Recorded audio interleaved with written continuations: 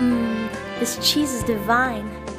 Is it Spanish cheese? No, it's Argentinian cheese from the coast. Just like our first date. Oh, you think of everything. That's why I love you so much. No, that's why I love you so much.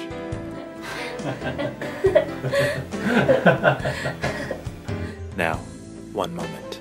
Let me put on something a little more romantic.